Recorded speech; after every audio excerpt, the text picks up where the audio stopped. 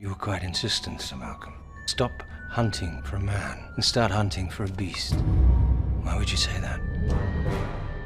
Sir Malcolm has gone. We need to find Miss Ives and Mr. Chan. Your future rests with me, my dear friend. We should think about getting away. Nonsense. Never again will I kneel to any man. She is mine, not yours, not his, mine. Your blood would paint this room. You discovered my secret. Who I truly am. So comes the apocalypse.